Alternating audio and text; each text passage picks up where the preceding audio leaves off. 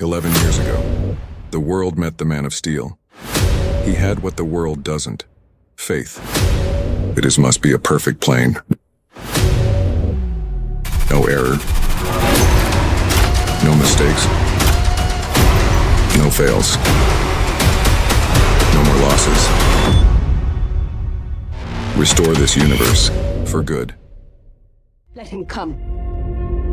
Let the bastard come. I'll stab this through his heart for what he did, Arthur. I want to make him pay.